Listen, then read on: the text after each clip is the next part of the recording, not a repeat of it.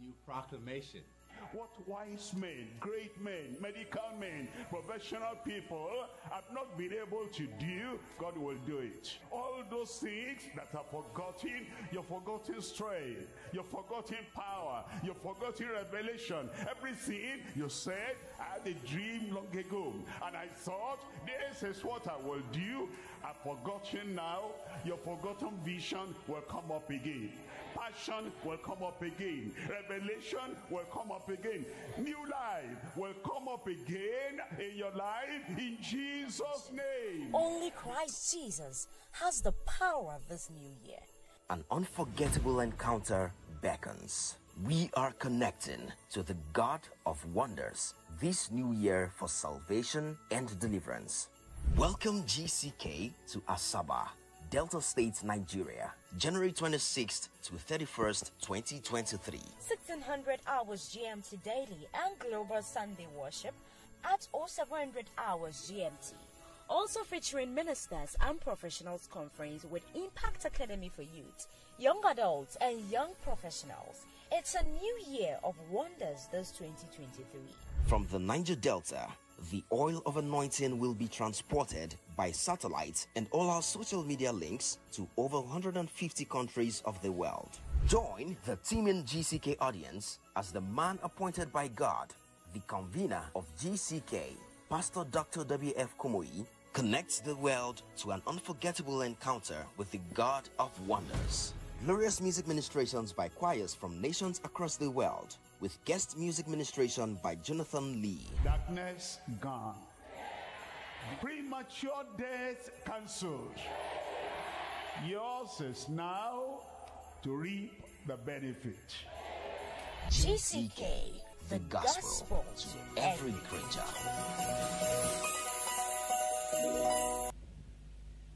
Praise the Lord. We'll rise up as we pray together.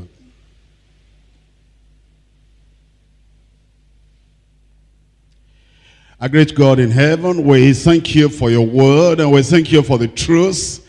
Thank you for the spiritual knowledge and revelation you are giving to us. Lord, we pray that this revelation will transform everyone at the Bible study here and every place today in Jesus' name. We're asking, oh Lord, the entrance of your word will bring light, will bring strength, will bring courage, will bring boldness and conviction to live a life that is uncompromising in righteousness in Jesus' name. We pray, Lord, you keep us awake as we study your word together. You energize, and empower every one of us to walk in the way of the Lord in Jesus' name. And the blessing and the benefit, the profit of following you through and through, you grant to every one of us. Be blessed and glorified, exalted in the Bible study tonight. In Jesus' name we pray. Thank you very much. We can sit down. We come once again to our Bible study. And I welcome those who are coming for the first time. And I pray that this will be an exciting, a joyful, and uplifting experience in your life in Jesus' name. We've been studying the book of Daniel. We're sitting in chapter 1. We're coming to Daniel chapter 1. I'm reading from verse 17, which is the passage of study today. Daniel chapter 1, verse 17. As for these four children, that means Daniel, Ananiah, Mishael, and Azariah. Daniel, uh, uh, with all these, his three friends and companions. As for these four children, God gave them knowledge and skill in all learning and wisdom. And Daniel had understanding in all visions and dreams. Now at the end of the days, that the king had said he should bring them in. Then the prince of the eunuchs brought them in before Nebuchadnezzar. And the king communed with them, examined them. And the king communed with them, and among them all was found none like Daniel, none like Ananiah, none like Mishael, and none like Azariah. Therefore stood they before the king. and in all matters of wisdom and understanding that the king inquired of them. He found them, how many times better? Ten times better than all the magicians and astrologers that were in all Israel. And Daniel continued even until the first year of King Cyrus. That's what we're studying about. You'll find that the champion of the passage, the leading figure of the passage, you'll find that the one in the forefront of the rest of them in the passage is the man Daniel, young man Daniel. As we look at the book of Daniel, we have quite a lot of personalities, a lot of individuals. You have Daniel, you have Shadrach, Meshach, and Abednego. You have Nebuchadnezzar himself. You have Cyrus. You have Belshazzar. You have quite a lot of people.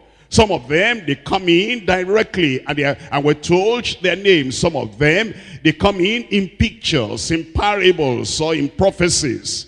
And yet, beyond them all, above them all, towering high, above everyone is this Daniel. From his teenage years, we find him in chapter 1. And then he goes on growing older and older. By the time you come to the end of the book, it's about 90 years of age. And we find nothing negative written about him. And a very central scene in his life is what you'll find in Daniel chapter 1 verse 8. Daniel chapter 1 verse 8, but Daniel purposed in his heart. Because his heart was right, his life was right. Because his heart was strong, his life behavior was strong. Because his heart had conviction, his life also had conviction. Because his heart was stable, because of that, his life was stable. Because his heart was faithful unto the Lord, his life was faithful unto the Lord. If you're going to be anybody in life, if you're going to do anything in life, if you're going to be exalted, and if you're going to be blessed in life, it is the heart. The condition of your heart, a converted heart, a cleansed heart, a sanctified heart, a circumcised heart will give you a life that will be noticeable and blessed in heaven. But Daniel purposed in his heart that he would not defile himself with the portion of the king's meat, nor with the wine which he drank. Therefore he requested of the prince of the eunuchs that he might not defile himself. One word that has been coming over and over. As we have looked at the life of Daniel, is that word uncompromising. Uncompromising. That means he made up his mind. And he said, compromise will be strange to me, will be a foreigner to me. If there is anything I will never do, it is this. I will never compromise my conviction, my knowledge, my stand, my vow, my consecration to the Lord. You see, it is compromise that ruins the lives of people. And we have a number of people in the Bible that compromise and they ruin themselves. Aaron, number one. Balaam, number two. Gideon, number three. Samson, number four. Eli, number five. Saul, number six. Solomon, number seven, Ahithophel, number eight, the young prophet, number nine, and many others. Aaron compromised his convictions and led Israel into idolatry, and he lost the privilege of entering into the promised land. Balaam compromised and lost his life under the wrath of God. Gideon compromised and brought a snare upon himself, upon his family, and upon the whole nation. You remember Samson? He compromised his righteous devotion to God. And he lost his strength, he lost his sight, and he lost his ministry and lost his life. Eli compromised the divine standard for the priesthood, and he lost the priesthood. He lost the ark of God, and the glory of God departed from Israel. Saul compromised his divine calling and commission, and he lost his royal privilege, and he lost the indwelling spirit, eventually lost his life. Solomon, a man of great wisdom, but wisdom without steadiness in the heart Wisdom without a purposing in the heart. And wisdom without a foundation of real conversion, commitment, and consecration to the Lord will not go very far because of that. Solomon compromised the commandment of God for Israel's kings and married pagan, uh, pagan women. And uh, we're told he married unbelieving women and he lost the favor of God. He lost the United Kingdom of Israel, Ahithophel a wise man. We're told that the counsel of Ahithophel, when was following after David, it was like an angel was, was counseling somebody. But, you know, whatever wisdom in counseling you have, whatever practical knowledge, of living you have and whatever strategies or methods you have to be able to direct even a king like David without a purpose of heart you'll crumble and you will stumble and you will compromise. Therefore, Ahithophel compromise is loyalty to the anointed of the Lord. And he lost earthly life and eternal life in the rebellion of Absalom. The young prophet, you remember him. That's the one that was faithful to a particular point. And then he sat down, he rested, and the old prophet came and said, Are you not that man that came from Bethlehem? Jesus said, Yes, I am. Come home with me and eat and, and drink. And he said, no, I may not, because the Lord had told me, you must not eat in that place, must not drink in that place. Oh, that other fellow told him a lie. An angel spoke to me. He went back. That was his compromise. And what happened? He lost his life. We're told that that young prophet compromised his faithfulness to the, to the word of God. And he lost his ministry. He lost his life. He lost his posterity to the lions. But thank God, the Bible is not just talking about people that compromised. The Bible is talking also about people that lived uncompromising lives. The people that say, I have only one life to live. I will go through this life only once. And that one time will be a life of no compromise. No compromise with the devil. No compromise with sin no compromise with society, no compromise in everything the Lord has taught me. I'm going to stand firm, firm until the end. We have a number of them. Joseph lived an uncompromising life and received the fulfillment of his God-given dreams. You remember Moses? Moses lived an uncompromising life and was granted special favors by the Almighty God. You remember Caleb? Caleb lived an uncompromising life and was kept alive until he received his portion in the promised land. Joshua lived an uncompromising life and was given the leadership position over Israel. Now a lady, a woman, Ruth. She lived an uncompromising life and she had the reproach of widowhood taken away. And Samuel lived an uncompromising life and was in favor with God throughout his life. You remember Elijah. He lived at a time when the children of Israel had gone away following after, uh, after Baal.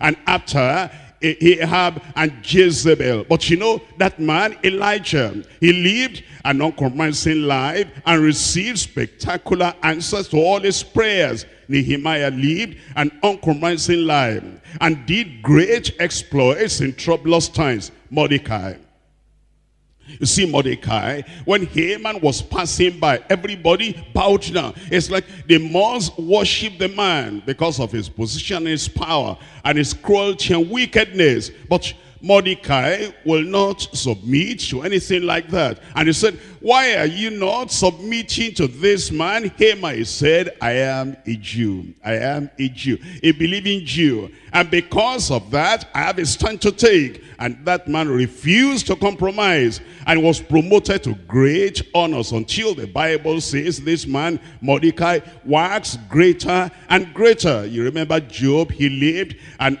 uncompromising life. And God made an edge about him and about all that he has on every side. So the Lord blessed the latter end of Job more than his beginning. Don't forget Enoch. That man that lived at such a corrupt time, a terrible time, a time when everybody went their way. But we're told that Enoch walked with God without any compromise. And that man will not die. And the Lord lifted him up and he was raptured even at that time.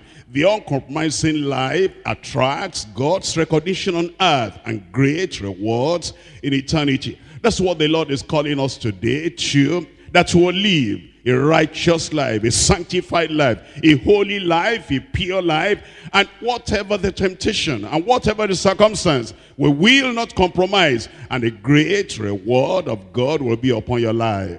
I say God will reward you abundantly. We're going to divide the study to three parts. Number one, spiritual perception given to an uncompromising life. Spiritual perception given to an uncompromising life. Number two, special progress gained through an uncompromising life. Special progress gained through an uncompromising life. And then number three, supernatural preservation granted for an uncompromising life. Supernatural preservation granted for an uncompromising life. We're back to Daniel chapter 1. I'm reading from verse 17. Daniel chapter 1 verse 17. As for these four children, God gave them knowledge and skill in all learning and wisdom and Daniel had understanding in all visions and dreams. I want you to notice that for, for those uh, uh, words, uh, the first line, as for these four children, who are those four children? Go back to verse 11. Then Daniel said to Melzar, whom the prince of the eunuchs had set over Daniel, Ananiah, Mishael, and Azariah. Those are the four. Daniel number one, Ananiah number two, Mishael number three, Azariah number four. As for these four children, what we learned about them, those three were friends of Daniel. They were the companions of Daniel. I want you to look at Daniel chapter 2. In Daniel chapter 2, we're looking at verse 17. Then Daniel went to his house and made the thing known unto Ananiah, Mishael, and Azariah. What are they called? The last two words, his companions. Uh, that means then that Daniel had a saving influence. Daniel had a righteous influence. Daniel had a sanctifying influence upon those other three. Upon Ananiah, upon Mishael, upon Azariah. They were his friends. And because they were his friends and companions, he had influence on them. If we're going to learn anything at all, that if you're righteous, if you're a child of God, you must have some friends. And you must have some righteous influence sanctifying influence, a steady influence, a, a, great influence upon those companions, upon those people that are close to you. We're told in Psalm 119. Psalm 119, I'm reading from verse, uh, from verse 63. I'm a companion of all them that fear thee, and of them that keep thy precepts. Daniel said, you are my friends, now we're going to take this time together. Daniel said, you are my companions, and we're going to walk in the narrow way together. We're going to live in the light of the knowledge of the word of God together. I am a companion of those, of all them that fear thee, and of them that keep thy precepts. You have friends, you have neighbors, you have companions. You must have a saving influence on them, a righteous influence on them, a sanctifying influence on them. And if, if you're just born again and, you know, those friends that you had before you were born again, you must have that same soul-saving, soul-winning influence on them. We're looking at Mark chapter 5. Mark chapter 5, verse 19. Howbeit Jesus suffered him not, but says unto him, Go home to thy friends you see the commandment of the Lord to that man and the commandment of the Lord to you. You're born again. You're a child of God. You have been saved. You are set free. You are delivered. You are healed. Go back home to your friends. And then it says, and tell them how great things the Lord has done for thee If he has saved you, he has done something for you. If he has sanctified you, he has done something for you. If he makes you to have a steady life of righteousness and has given you abundant grace to resist temptation and to stand firm in the things of the Lord, you must tell your friends, go home to thy friends and tell them how great things the Lord has, has had on you, has done for thee, and has had compassion on thee. And he departed and began to publish in Decapolis how great things Jesus had done for him, and all men did marvel. And there's another man in the Bible, his name is Cornelius. He came and the Lord appeared to him by an angel. And when the Lord appeared to him, he said, send for Peter. And Peter will tell you the words of life, the words of salvation, the word that will prepare you for heaven. What did he do? Uh, when he sent people to go and call Peter, he called his friends together. You see, that's what we find uniform in the Bible. That when God has appeared to you, and God has given you grace, and God has given you favor, you will touch your friends with his soul-saving hand. You'll touch your friend with his sanctifying influence. We're looking at Acts of the Apostles chapter 10, verse 24. Acts chapter 10, I'm reading from verse 24. And on, and the morrow after they entered into Caesarea and Cornelius waited for him and had called together his kinsmen and near friends. He called together his kinsmen and his near friends. He was expecting the messenger of God is coming. The preacher of the gospel is coming. The one that will show me the truth and reveal the truth to me so that my life will be transformed is coming. I'm not going to listen to that alone. I'm not going to go to heaven alone. All my friends are going to hear this with me. Verse 33. Immediately therefore I sent to thee, and thou hast done well that thou art come. Now therefore are we all here? Are we all here? Me and my friends, me and my household, everyone with my companions, are we all here present before God to hear all things that are commanded thee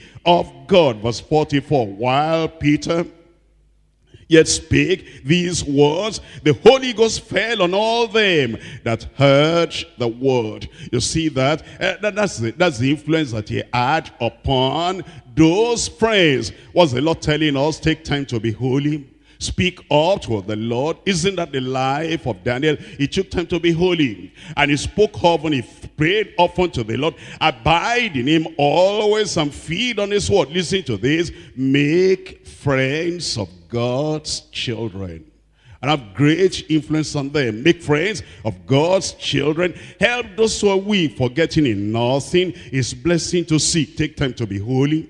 The world rushes on. Spend much time in secret with Jesus alone. By looking to Jesus like him, thou shalt be, listen to this, thy friends in thy conduct, thy friends in thy conduct, thy friends, thy companions in thy conduct, his likeness shall see. And that's the beauty of the righteous life, that you're able to have influence upon your friends, and those friends, they're able to turn to the Lord, and the same righteous stand you take, that same righteous stand, they'll take in Jesus' name. You'll influence your friends. I said you will influence your friends. You'll win your friends to Christ and win them to a life of righteousness. And you make them to have the same purpose of heart that you have, that you will not compromise. We're coming back to Daniel chapter 1. Daniel chapter 1.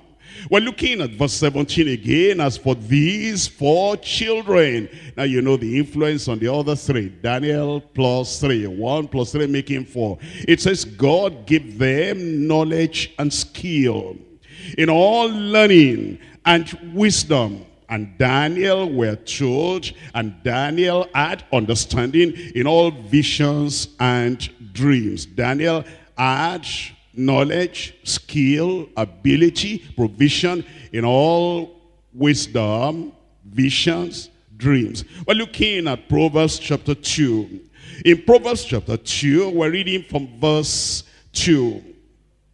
So that thou incline thine ear unto wisdom, and apply thine heart to understanding. Yea, if thou criest after knowledge, and liftest up thy voice for understanding, if thou seekest her as silver, and searchest for her as for hid treasures, then thou shalt understand the fear of the Lord and find the knowledge of God. That's what Daniel did. He was passionate in his seeking for knowledge. He was very desirous in seeking for knowledge. And because he loved to have knowledge so much, the Lord blessed him with that knowledge. We're told in verse, in verse 6, For the Lord giveth wisdom. Out of his mouth cometh knowledge and understanding. He layeth up sound wisdom for his for the righteous. He is a buckler to them that walk uprightly. Because Daniel committed himself to walking uprightly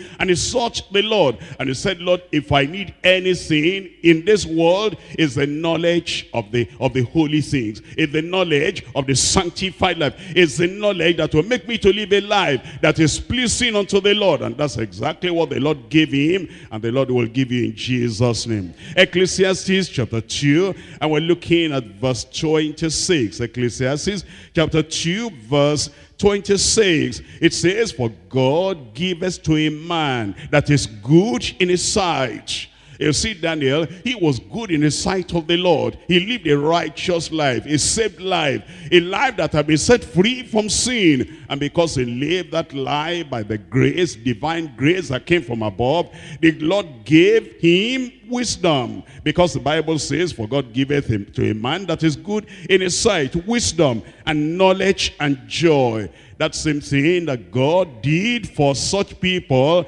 the Lord will do for you.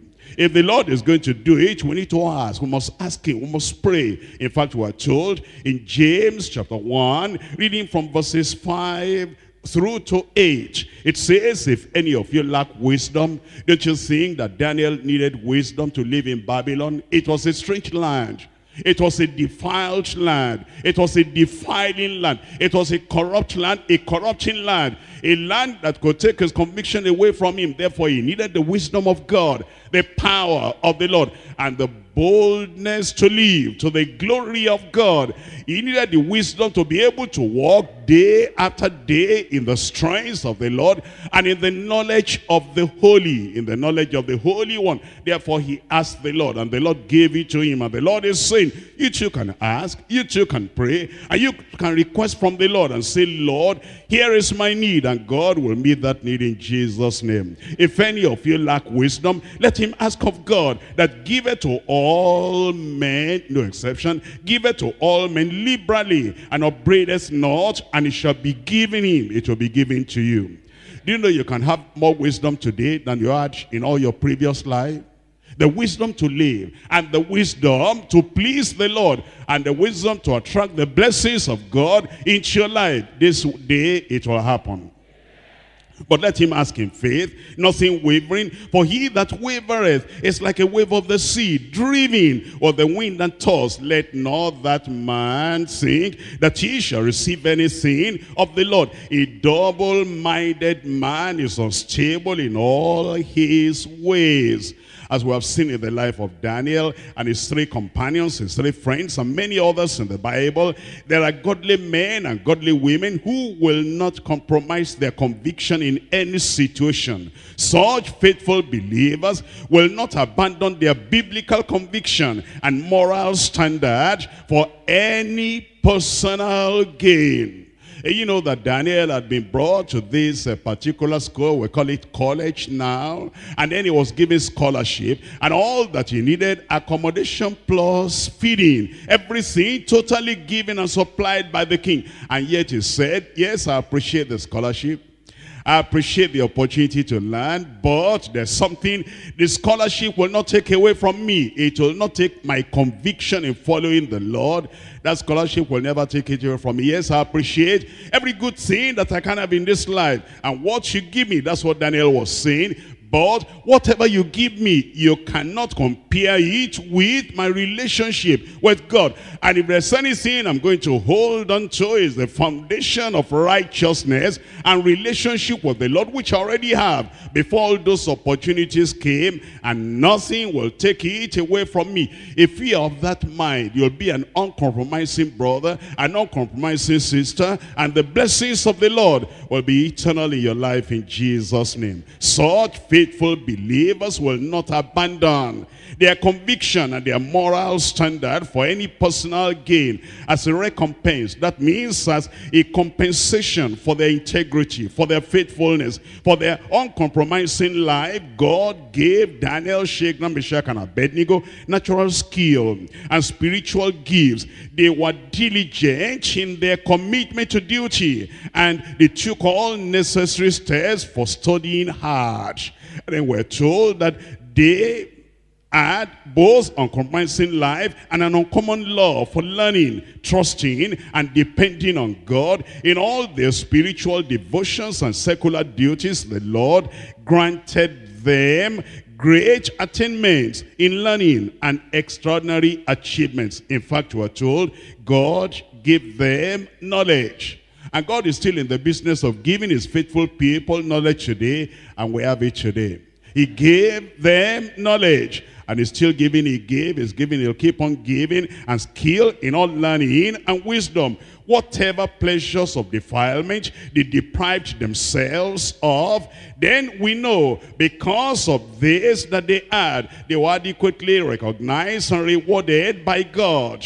They kept their convictions to the minutest details, and God rewarded them with the greatest of endowments the sunshine of their spiritual perception brought much light to the king Nebuchadnezzar and to the nation of uh, Babylon in later years. An enlightened mind, that's what they had it's a renewed spirit. That's what God gave them. A clear brain, a sound, perceiving, understanding heart, a happy life, a healthy body, an influential personality with a lifelong possession. Think about that. That's more than, you know, what they bargained for. They didn't know that God will give them so much when they were committing their lives to that uncompromising standard of, of belief of the believers living. Their spiritual endowments included special gifts of inspiration uncommon, unknown in their days. Daniel was endowed with prophetic gifts and insight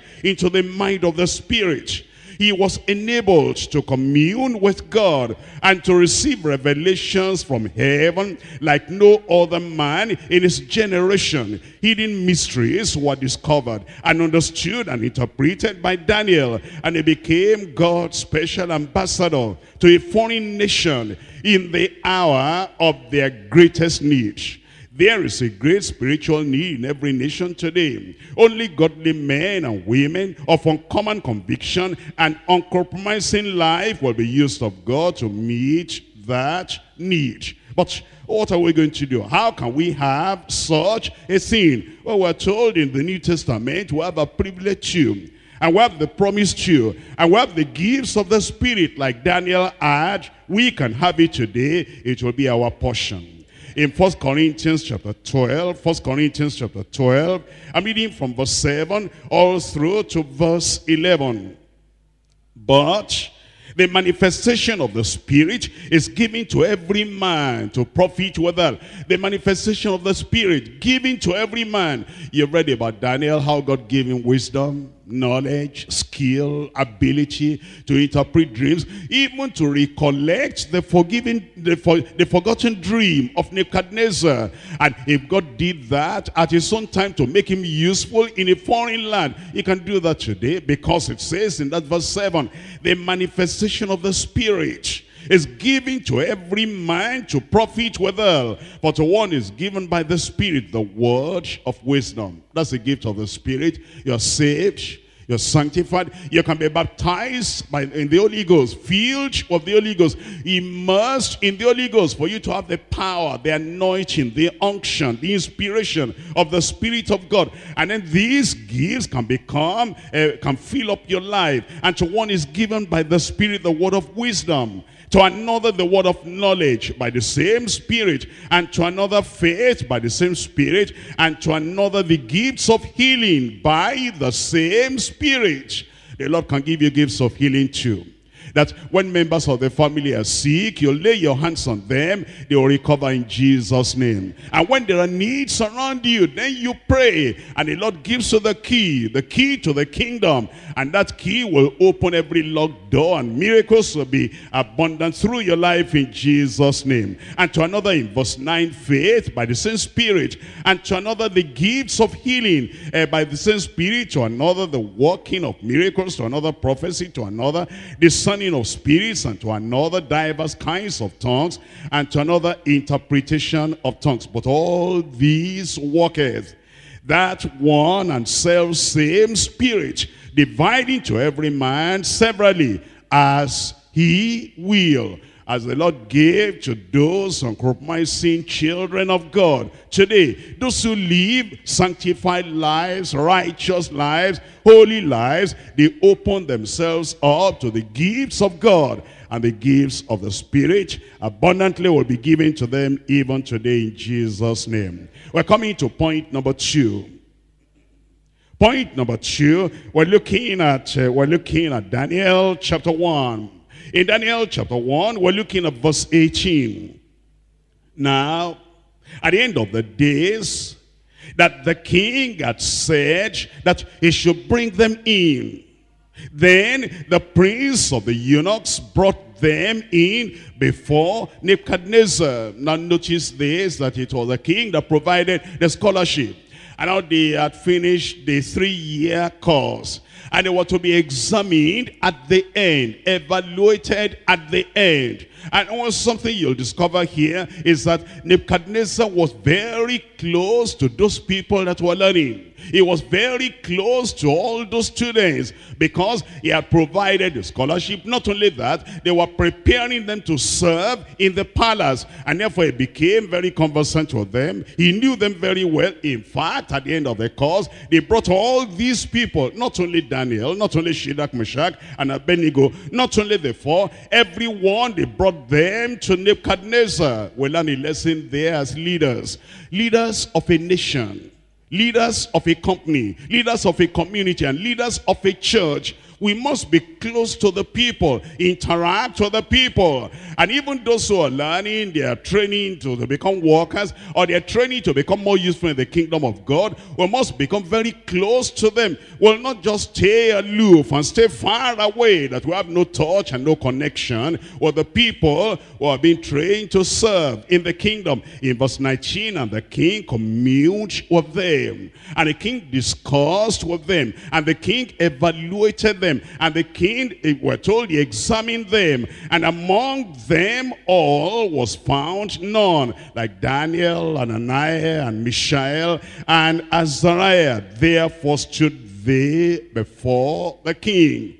If they were going to serve in the king's palace, if they were going to be useful and profitable to his kingdom, he must know them. He must examine them. He must evaluate them. He must be able to know whether they're suitable or not. That's why he took personal interest and personal involvement in examining them. In verse 20, and in all matters of wisdom and understanding that the king uh, inquired of them, he found them ten times better. Will be better than all these people of the world.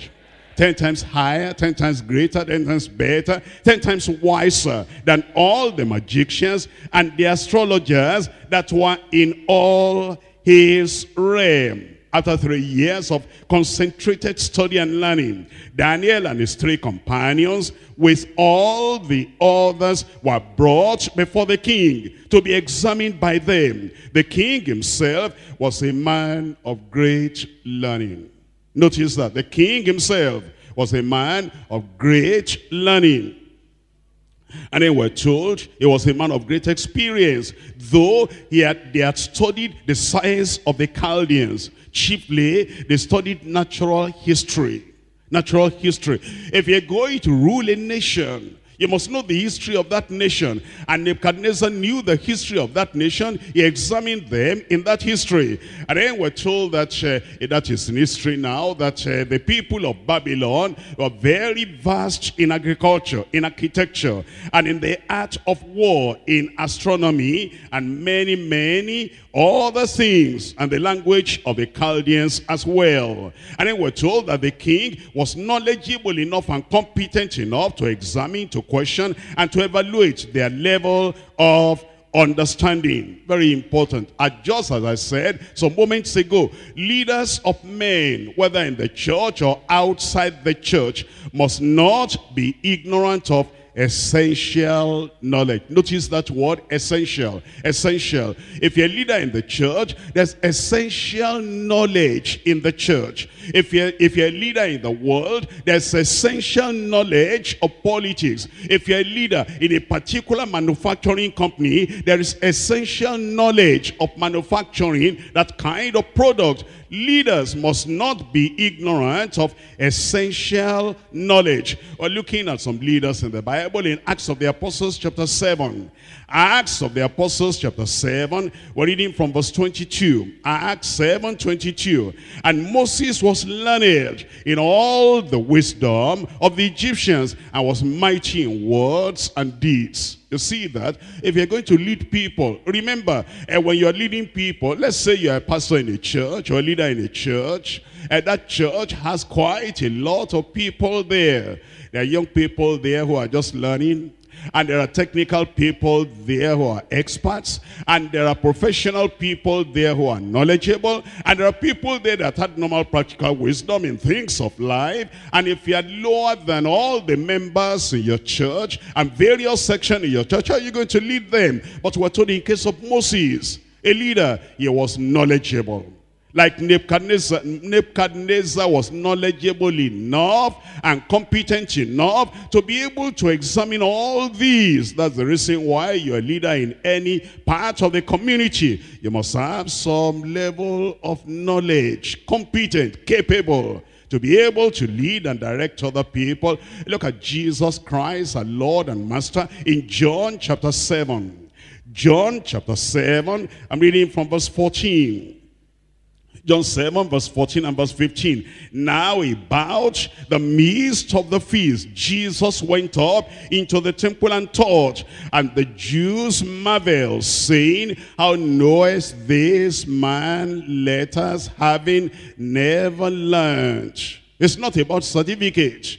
It's not about going to the regular school, but Jesus Christ acknowledged above the Pharisees, above the Sadducees, and it was noticeable to the people, and they said, How knowest this man letters, having never learned? Look at verse 45 and verse 46. Then came the officers of the chief priests and the Pharisees, and they said unto them, why have ye not brought him? And the officers answered, Never man spake like this man. You cannot say that you are a follower of Jesus Christ and then you rejoice in your ignorance and you rejoice in idleness and refusal to study. And you refuse to take the knowledge that is relevant to the calling that the Lord has given you. Any area of work you're doing in the household of faith in the community of faith in the kingdom of God you must train yourself and make yourself knowledgeable in that area. In fact concerning the Lord Jesus Christ we're told in Colossians chapter 2 Colossians chapter 2 I'm reading from verse 3 in Colossians chapter 2 verse 3, it says, In whom are hid all the treasures of wisdom and knowledge. That's the Lord Jesus Christ. In him. Hidden there in his heart, in his life, in his brain, in his mind. Hidden all the treasures of wisdom and knowledge. In verse 9, for in him dwelleth all the fullness of the Godhead bodily. In him dwelleth all the fullness of the Godhead bodily. And then if uh, it says, uh, for us not to have knowledge, that is not good. Not to have knowledge. That is to belittle knowledge, minimize knowledge, depreciate, not disregard knowledge. I say it doesn't matter. All I need is just to get to heaven. If you don't have knowledge, your usefulness will be limited. We're looking at Proverbs chapter 19. Proverbs chapter 19, I'm reading verse 2. Also, that the soul be without knowledge is not good. Think about that. That the soul be without knowledge. It is not good. We're told in Malachi chapter 2. Malachi chapter 2. I'm reading from verse 7. Malachi chapter 2. Verse 7. For the priest's lips should keep knowledge. You're a preacher. You're a priest. You're a leader in the household of faith. Knowledge is very important, essential knowledge. We're not talking about the knowledge of the world now. There's the knowledge that is essential to your trade, essential to your commission, essential to your calling, essential to your ministry. It says, for the leaves, for the priest leaves should keep knowledge, and they should seek the law at his mouth. For he is the messenger of the Lord of hosts. In fact, uh, what kind of pastors does God promise that is going to give to the people of God? Look at uh, Jeremiah chapter 3. I'm reading from verse 15. Jeremiah chapter 3. We're looking at verse 15. And I will give you pastors according to mine heart. And if you have a pastor according to the heart of the Lord, what's the implication of that? Which shall feed you with knowledge and understanding. Uh, but if he does not have the knowledge, how can he feed the church with knowledge? If he does not have the knowledge and the understanding, how will he be able to feed the people of God with knowledge and understanding?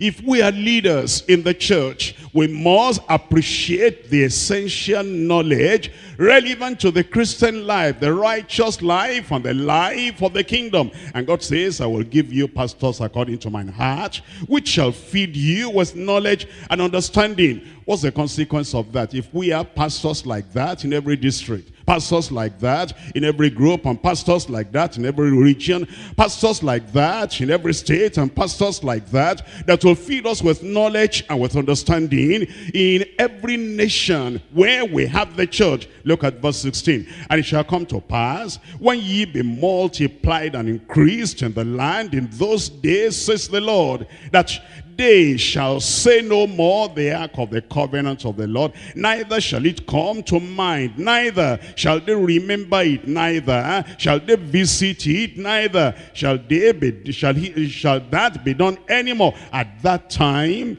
they shall call Jerusalem the throne of the Lord. That's it. When you are pastors according to the mind of the Lord that have essential knowledge feeding the people with the word of God. It says Jerusalem, the headquarters of the people of God, will be called the throne of the Lord. And all the nations shall gather unto it to the name of the Lord to Jerusalem. Neither shall they walk any more after the imagination of their evil heart. There'll be transformation of life and there'll be, a pure, there'll be purity of heart. When the pastors are filled with knowledge, and then the pastors are feeding the people with knowledge and truth. Then it says in those days in verse 18, the house of Judah shall walk with the house of Israel. And they shall come together out of the land of the north to the land that I have given for an inheritance unto your fathers. You see, then it's very important, very essential. We have that kind of knowledge. That's what we're told in Second Peter chapter 3. Second Peter chapter 3, we're looking at verse 18. Second Peter chapter 3, we're looking at verse 18. In verse 18 it says, but grow in, in grace and in the knowledge of our Lord and Savior Jesus Christ. Yes, you grow in grace, that's spiritual, but then you need to grow in knowledge too. How do you grow in grace? By prayer, by consecration, by commitment to the Lord. You grow in grace. How do you grow in knowledge? There is it. That goes beyond prayer, by reading, by studying, by listening. That you say, I need to have the knowledge of the, of the Lord Jesus Christ, the excellences of Christ, the doctrines of Christ, the life of Christ, the miracles of Christ, the power of Christ, the sonship of Christ, and everything the Spirit is revealing concerning Christ. I need to study that and read that, but grow in grace and in the knowledge of our Lord and Savior Jesus Christ. Let's come back to Daniel chapter 1. Daniel chapter 1. We're looking at uh, now on the other side of uh, verses 18 to 20. We've looked at the side of Nebuchadnezzar that he was knowledgeable enough, competent enough, capable enough uh, to be able to interview and evaluate and commune with all these four children and all the others that have gone through that course. Now, it says about uh, these other people that he Daniel, Ananias, Azariah, and uh, Mishael, that they were ten times better because the Lord had given them wisdom. The Lord had given them uh, the kind of knowledge that they needed to have. Uh, the Lord has been doing that for other people too. This one just came uh, in the line of the faithful people, the uncompromising people that the Lord has been doing that for. We're looking at the Genesis chapter 41. Genesis chapter 41 verse 14. In Genesis 41 verse 14, then Pharaoh sent and called Joseph. And they brought him hastily out of the dungeon. And he shaved himself and changed his raiment and came in unto Pharaoh. In verse 38, we'll see the knowledge that he had, the interpretation that he had, and the impact and the influence that he had because of that gift the Lord had given to him. Verse 38, and Pharaoh said unto his servants, can we find such a one as this, a man in whom the Spirit of God is? And Pharaoh said unto Joseph, For as much as God has showed thee all this, there is none so discreet and wise as thou art. And thou, thou shalt be over mine house, and according to thy word shall all my people be ruled. Only in the throne will I be greater than thou. In verse 41, and, and Pharaoh said unto Joseph, See, I have set thee over the land of Egypt. The Lord will do that for us. And when we're talking about Daniel and we're talking about Shadrach, Meshach, and Abednego, it says that they were greater, they were better, they were wiser than all the other people in Babylon. How many times greater? How many times better? Can the Lord do that for you and for me? Wiser than the people we're studying together with. Wiser than the people we're working with will be exalted in Jesus' name. Look at the promise of God. We're looking at Deuteronomy chapter 28. Hold on to this. It's coming your way. This blessing you will have. Today we're reading about Daniel, Shadrach, Meshach, and Abednego. Who knows tomorrow we'll be reading about you. In Deuteronomy chapter 18, I'm reading chapter 28. Deuteronomy chapter 28. I'm reading from verse 1 and verse 2. And it shall come to pass, if thou shalt diligently hearken to the voice of the Lord thy God, to observe and to do all his commandments which I command thee this day. What's that? The uncompromising life, the righteous life, the sanctified life, the holy life, the committed, steadfast life. If you will diligently hearken unto the voice of the Lord your God, to observe and to do all his commandments which I command you this day, that the Lord thy God will set thee on high above all the nations of the earth. And all these blessings shall come on thee and overtake thee, if thou shalt hearken unto the voice of the Lord thy God. Then in verse 13, and the Lord shall make thee the head and not the tail. And thou shalt be above only, and thou shalt not be beneath. If thou hearken, if that thou hearken unto the commandments of the Lord thy God, which I command thee this day to observe and to do them, it will happen. In Psalm 119, Psalm 119, we're reading from verse 98. Thou thou through thy commandments has made me wiser than mine enemies, for they are ever with me. It's as you study the word of God, you consecrate your life to the Lord. He makes you wiser than even all your enemies. Verse 99, I have more understanding than all my teachers. Uh, that's what we're reading about Daniel. Shadrach, Meshach, and Abednego ten times wiser than all the wise men and all the Chaldeans, all the wise men of Babylon. They became wiser. We will become wiser. I have more understanding than all my teachers, for thy testimonies are my meditation. I understand more than the ancients, because I keep the precepts. I have refrained my feet from every evil way. That's the uncompromising life. It is when you have that uncompromising life, a righteous life, a sanctified life, a saintly life, that's when you have this privilege of being greater than all the people around you. I have refrained my feet from every evil way, that I might keep thy word. I have not departed from thy judgments, for thou hast taught me. How sweet are thy words unto my taste yea, sweeter than honey to my mouth. Through thy, through thy precepts I get understanding. Therefore, I hate every false way. The Lord will do it for us. And because of what the Lord did for them, they were able to stand before the king. And let's come to Daniel chapter 1. Daniel chapter 1.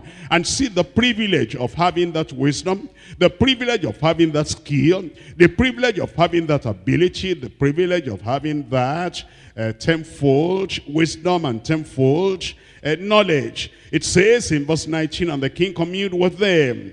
And among them all was found none like Daniel, Ananiah, Mishael, and Azariah. Therefore they stood before the king. Therefore stood they before the king. In Proverbs chapter 22. Proverbs chapter 22, I'm reading from verse 29. Proverbs 22, 29. Seest thou a man diligent in his business, diligent in his studies, diligent in his Christian life, diligent in his conviction, diligent in his responsibilities, diligent in his, in his duties, says thou a man, diligent in his business, he shall stand before kings, he shall not stand before mean men. What the Lord did for them, he will do for us. Told that uh, these people, as the, as the king communed with them, this is what they are. Daniel and his godly friends rose to great eminence and prominence in the land of Babylon. They had pursued their daily tasks with clear heads and pure hearts. And the Lord had reserved positions of honor for them because of the divine favor Upon their faithful and uncompromising life, they were employed in the honorable offices at the court and elevated to high ranks and they were given peculiar tokens of royal honor.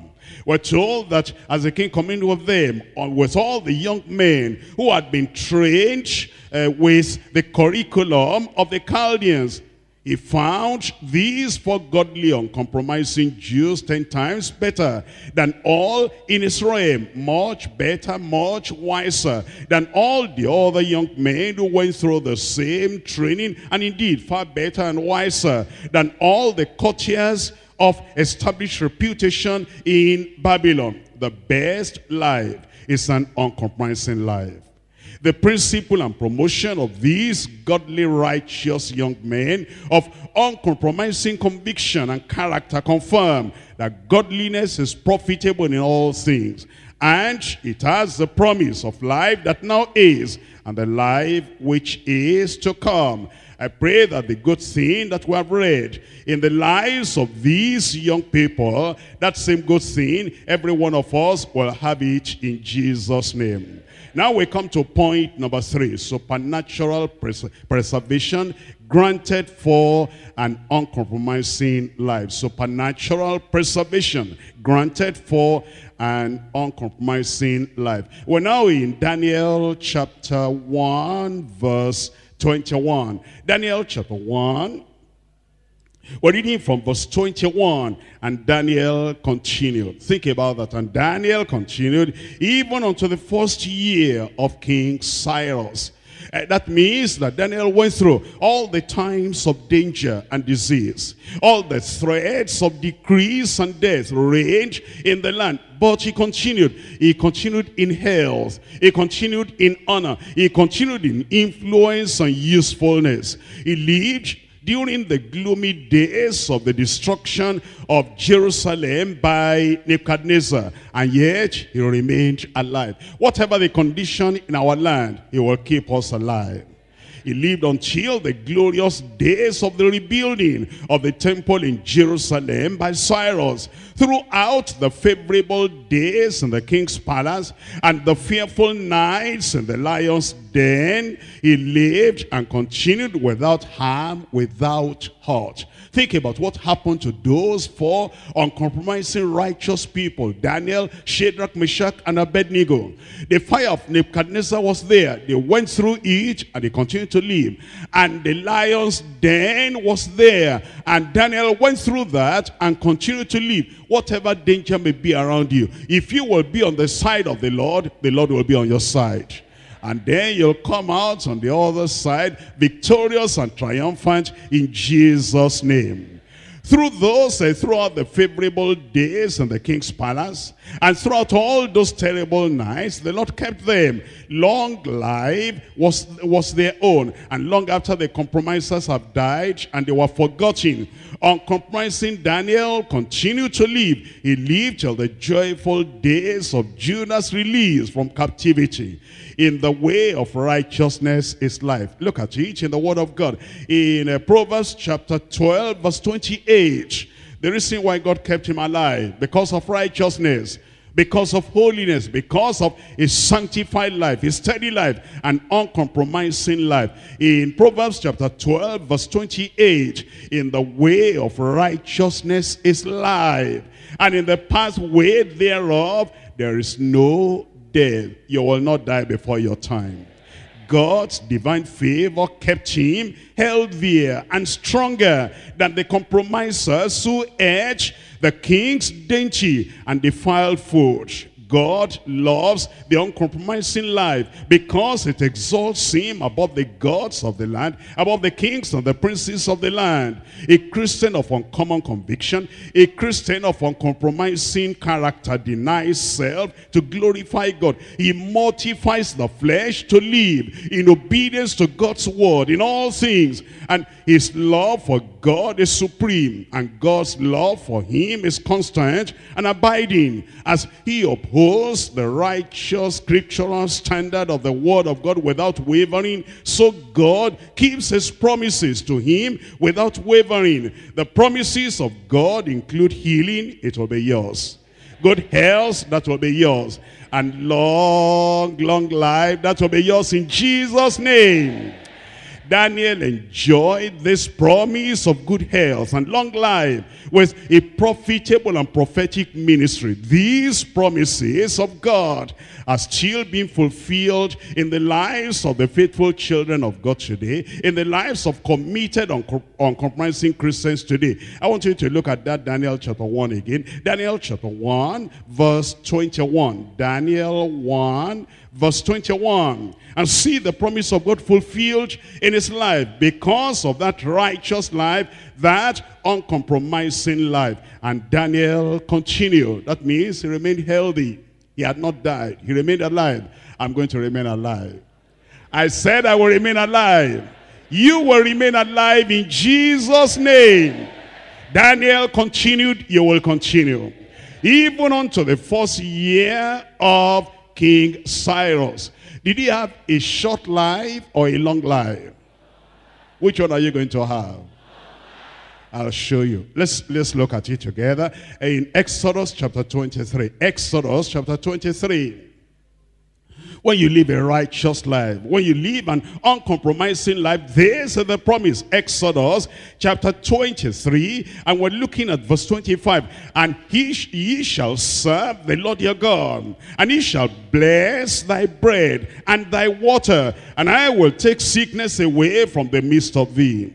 There shall nothing cast their young, nor be barren in thy land. The number of thy days I will fulfill. I thought you'll say amen. The number of your days, the number of your years, God will fulfill. Whatever calamity, whatever sickness may reign and rage in the land, it will not touch you. It will not come near you. Long life will be yours in Jesus' name.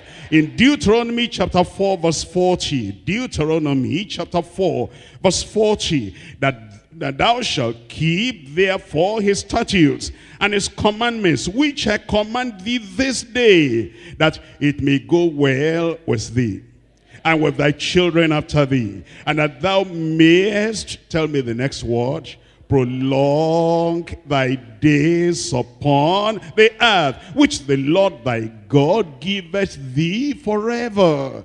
When you live an uncompromising life, he prolongs your day. He wants you to have an extra time, a longer time of usefulness, of influence.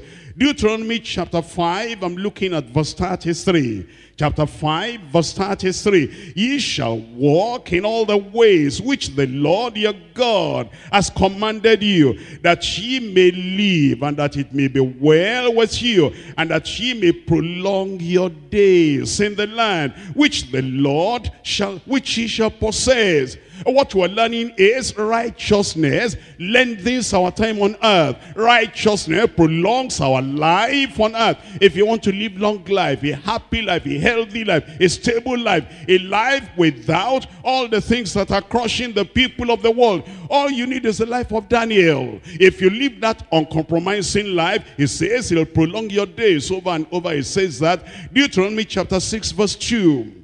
Deuteronomy chapter 6 verse 2 that thou mightest fear the Lord thy God to keep all his statutes and his commandments which I command thee that thou and thy son and thy son's son all the days of thy life that, that and that thy days may be prolonged. That's what he tells every time he tells us live a righteous life is for your sake Live a holy life. It's for our sake, so that it will prolong our days. That's why it says, and Daniel continued many, many years because of that righteous life. Sanctified life brings a sound life, a long life, a happy life, a healthy life, a prosperous life. We're looking at Deuteronomy chapter 11. 11, I'm reading from verse 7.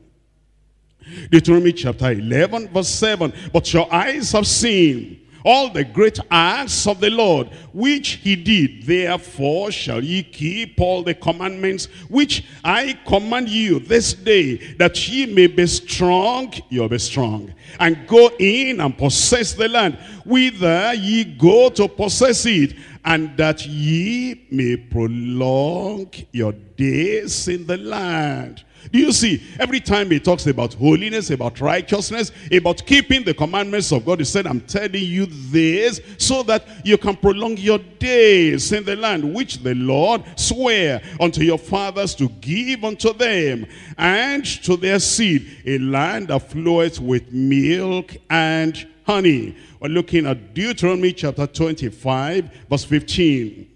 Deuteronomy chapter 25 verse 15. But thou shalt have a perfect and just weight, a perfect and just measure shalt thou have, that thy days may be lengthened in the land which the Lord thy God giveth thee. It says in your commercial responsibilities, in your trade, in your market, in the things you sell, make sure that everything is just and balanced and perfect. It says when you are truthful like that and honest like that, it's going to make sure that it prolongs your day. Chapter 32. Deuteronomy 32 verses 46 and 47.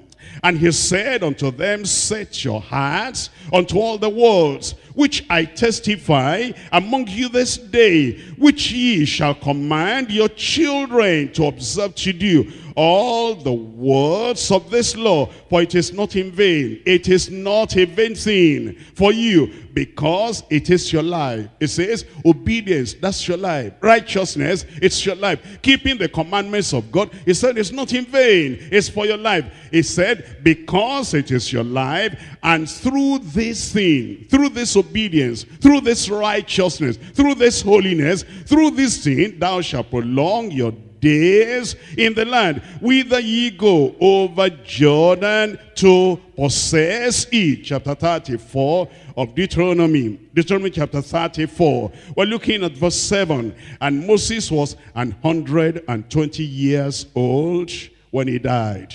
His eye was not dim, nor his natural strength, his natural force abated.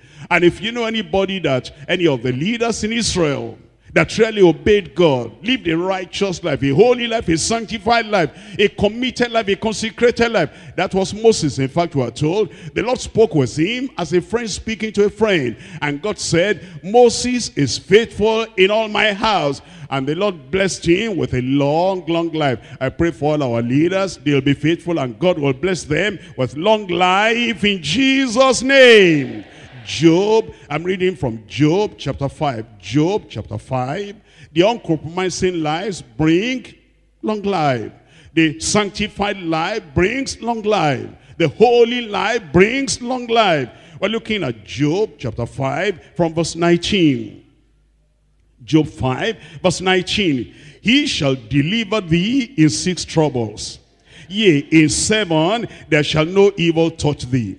In famine he shall redeem thee from death, and in war from the power of the sword. Thou shalt be hid from the scourge of the tongue. Neither shalt thou be afraid of destruction when it cometh. At destruction and famine thou shalt laugh. Neither shalt thou be afraid of the beast of the earth, for thou shalt be in league with the stones of the field. And the beast of the field shall be at peace with thee. Thou shalt know that the tabernacle shall be in peace. And thou shalt, uh, thou shalt visit thy habitation and shall not sin. Thou shalt know also that thy seed shall be great. Your children will be great. And thy offspring as the grass of the earth thou shalt come to thy grave in a full age, like a shock of corn cometh in in his season. See what the Lord has promised us, and that's what you are going to have. In Proverbs chapter 3. Proverbs chapter 3. I'm reading from verse 2. For length of days and long life and peace shall they add unto thee when you obey the commandments of God and you are committed like Daniel was committed to an uncompromising life of righteousness and sanctification. It says that kind of life, length of days and long life and peace shall they add unto thee. Chapter 9 of Proverbs. Proverbs chapter 9 verse 10. The fear of the Lord is the beginning of wisdom, and the knowledge of the holy is understanding. For by me thy days shall be multiplied, and the years of thy life shall be increased. Now we're looking at Acts of the Apostles chapter 26. Acts chapter 26. We'll be reading about those uncompromising people in the Old Testament. And if you know anybody in the New Testament that was uncompromising, that was Paul the Apostle with many other people, see what the Lord did for him. Because he also lived a righteous life, a sanctified life, a holy life, and he was uncompromising. In uh, Acts chapter 26 verse 22, having therefore obtained help of God I continue unto this day. That is, that's it. When you, when you live a righteous life, I continue unto this day. Yes, the shipwreck had been there. I continue until this day. Imprisonment, persecution there. I continued until this day. Those persecutions did not weaken him. I did not kill him. And did not give him incurable disease. But he said, the help of God was with me. Anywhere God sees righteousness, holiness, sanctification, he gives them a healthy life, long life. Having therefore obtained help of God, I continue until this day you will continue. Ephesians chapter 6, I'm reading from verse 1. Ephesians chapter 6, reading from verse 1. Children, obey your parents in the Lord. This talking to the people of God now. Yes, to children, biological children. Obey your parents in the Lord. And now those of us who are children of God and children of our Father in the Lord, it says, you obey your parents in the Lord. For this is right. Honor thy father and thy mother, which is the first commandment with promise, that it may be well with thee. It will be well with you. And thou mayest live, thou mayest live long on the earth. You see, it's in the Old Testament, it's in the New Testament. Before I close, I'm reading from Psalm 91. Psalm 91, we're looking at verse 1. You live a righteous life, a holy life, a sanctified life, an uncompromising life. You're there to be Daniel in your community. And the Lord is telling us the beauty of that, the reward of that, the compensation for that, sanctified, holy, pure, saintly life is a life that is long, that is healthy, a protected life, a healthy life, a sound life. That's what we're going to have in this place. We're looking at Psalm 91 verse 1. He that dwelleth in the secret place of the Most High shall abide under the shadow of the Almighty. You'll abide under the shadow of the Almighty. I will say of the Lord, He is my refuge, my fortress, my God. In Him will I trust. Surely He shall deliver thee from the snare of the fowler and from the noisome pestilence. He shall cover thee with his feathers, and under his wings shalt thou trust. His truth shall be thy shield. His truth shall be thy buckler. Thou shalt not be afraid of the terror by night, nor for the arrow that flieth by day, nor for the pestilence that walketh in darkness, nor for the destruction that walk wasteth at noonday. A thousand shall fall at thy side, and ten thousand at thy right hand, but it shall not come near thee. Only with thine eyes shalt thou behold and see the reward of the wicked, because thou hast made the Lord, which is my refuge, even the Most High, thy habitation. There shall no evil befall thee, neither shall any plague come near thy dwelling. For he shall give his angels charge over thee, to keep thee in all thy ways. Do you remember Shadrach, Meshach, and Abednego when uh, they were thrown into the, into the furnace of fire? The Lord Jesus Christ came to be with them. God will be with you. He will keep you sound. He'll keep you alive. He'll keep you healthy. He'll give his angels charge over you to keep you in all your ways. Thou, eh, they shall bear thee up in their hands, lest thou dash thy foot against a stone. Thou shalt tread upon the lion and the adder, the young lion, and the dragon shall thou trample under feet, because he has set his love upon me. That's the uncompromising life. The righteous life. You love the Lord so much, you'll not do anything contrary to his word or contrary to his will, because he has set his love upon me. Therefore will I deliver him. I will set him on high. Because he has known my name, he shall call upon me, and I will answer him. I will be with him in trouble. I will deliver him, and I will honor him. Read the last verse yourself.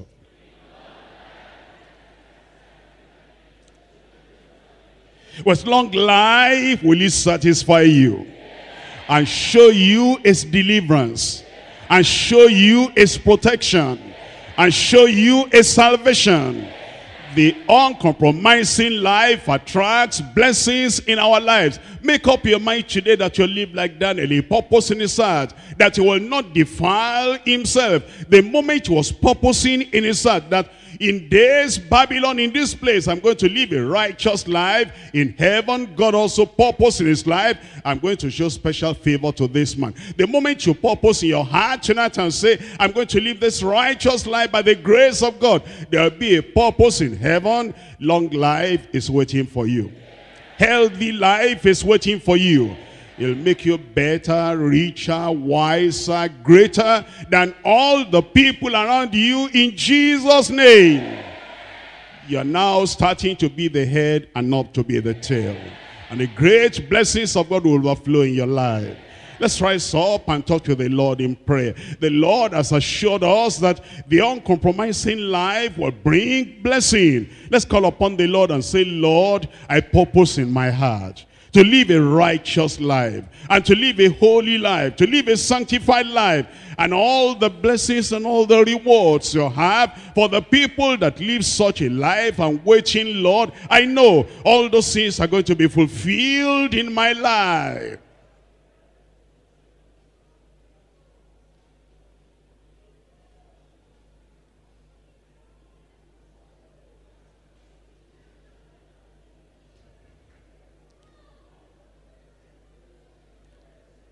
The life of a new creature. The life of a righteous man, a righteous woman, a saved soul, a sanctified believer. That you tell the Lord, oh Lord, I purpose in my heart. I'm going to live that righteous life. That uncompromising life. That's the life I'm going to live. A life of honesty a life of holiness, a life of purity, a life of sanctification. I need your grace, Lord, to be so committed, to be so yielded, to be so surrendered, to be so consecrated, that whatever the temptation, whatever the trial, in the day, in the night, in the place of work, on the street, anywhere, I find myself.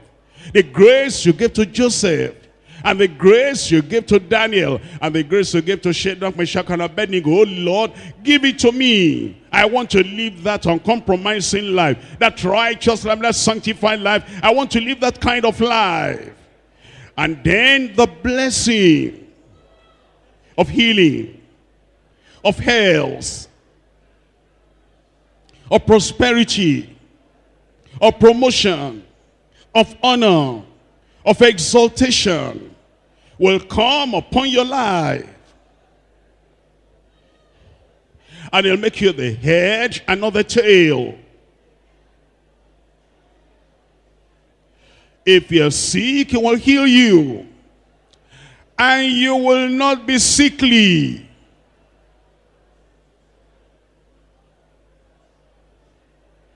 Holiness produces health.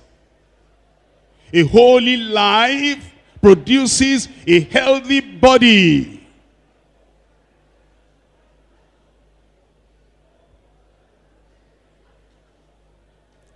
You will not be like the people of the world.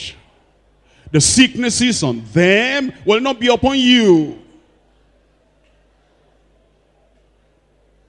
Holy and healthy. Holy and happy. Holy and honored holy and blessed, holy and prospered, holy and favored of the Lord.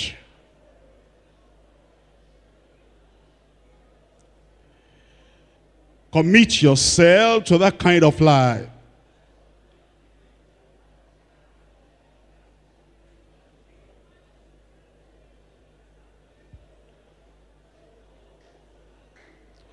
Compromise brings judgment. Careless living, sinful living, unrighteous life brings judgment and wrath. But a righteous life, a sanctified life, a holy life, what great, great blessing that brings upon our lives. Go over those promises again. long life, lengthened life, prolonged life. The years of your life increased. It breaks every yoke in your life, cancels every curse in your life, and he annuls, destroys all the intention of Satan, of the demons in your life. Because of that uncompromising life. A holy life is an influential life. A righteous life is an influential life. A pure life is an influential life. You'll influence your friends. You'll have a soul-saving influence on your friends. Daniel had that. He influenced Shadrach, Meshach, and Abednego. Soul-winning influence. A soul-saving influence. A sanctifying influence. A righteous influence. Influence them to also, also take their stand. Influence your friends. Influence them for Christ. Influence them for righteousness. Influence them to be steady, stable, solid in their Christian conviction. Influence them to live holy and righteous and sanctified lives. Teach them what you know. Tell them the decisions you have taken. Draw them into that same decision to live holy, righteous, sanctified life. You'll be a soul winner. And the souls win to the Lord will be righteous, will be holy, will take the same stand that you take.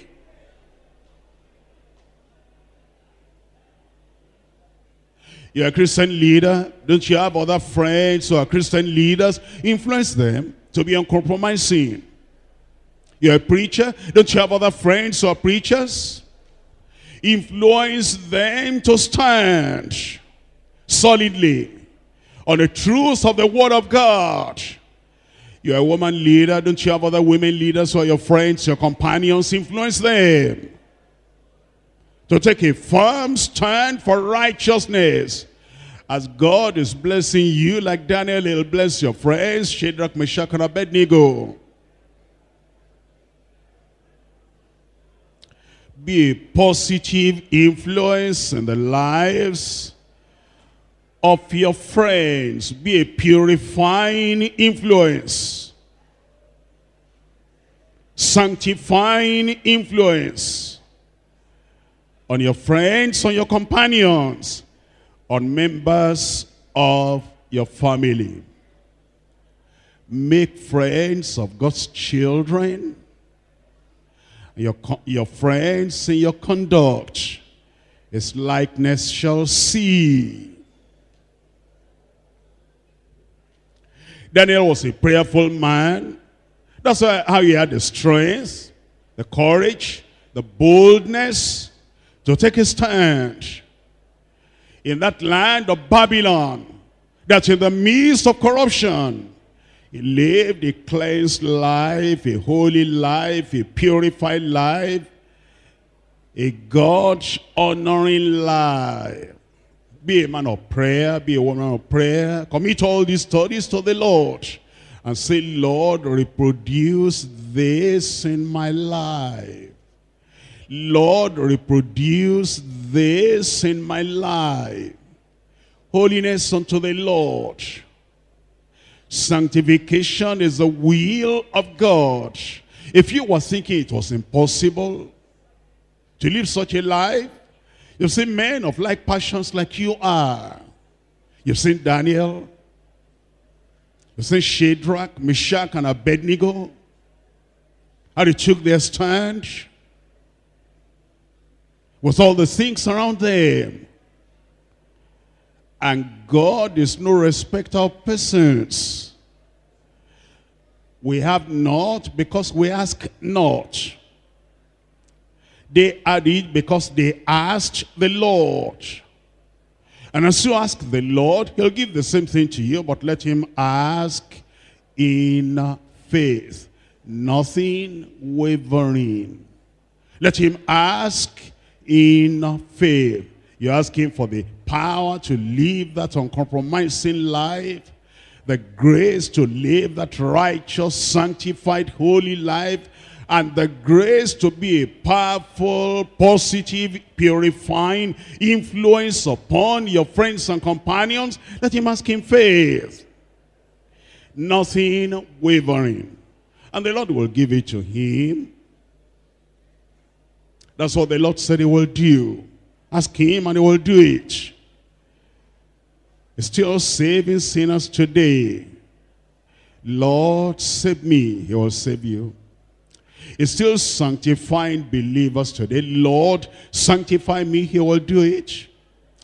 He's still giving courage and boldness to live the uncompromising life to his children today. Ask him, Lord, I want to be a Daniel in my generation. He will do it.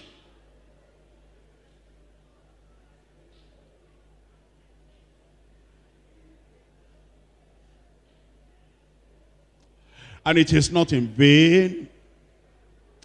This is your life. That he may keep you healthy, keep you righteous, keep you honored, keep you favored, and give you long life.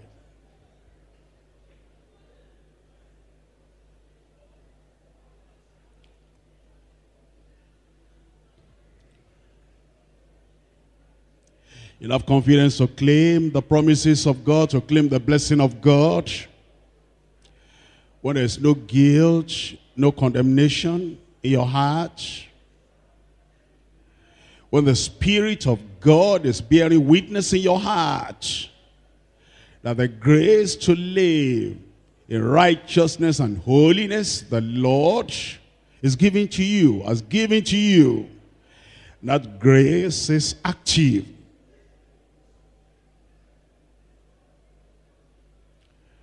then you'll be able to claim the promise of God. If you're sick, he heals. If you're healthy, now he keeps you well, keeps you healthy.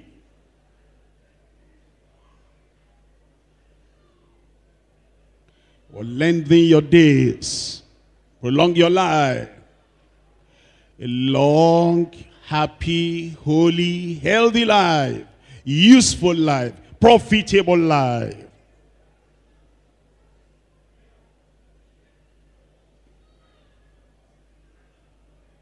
And it says, he will exalt you, honor you, promote you above all nations around you. Make you the head and not the tail. Think about that.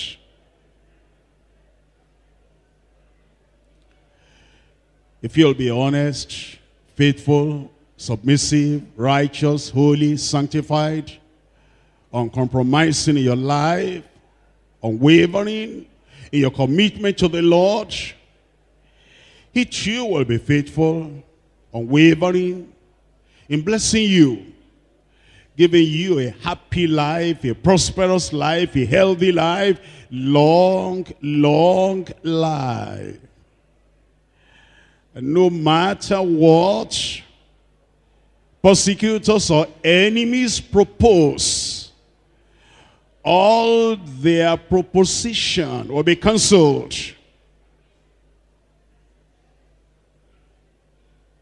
All their demonic, devilish, intention or wish will be annulled, destroyed, taken out of the way so that uncompromising Daniel would enjoy the benefit of that long, healthy, prosperous, stable life. That's the promise of the Lord. Take your stand for the Lord, and the Lord will stand by you. Take your stand for the Lord, and the Lord will stay with you, and yours will be the reward, the recompense, the compensation of an uncompromising life. Be ye holy in all manner of conversation, and the Lord will keep you happy and healthy.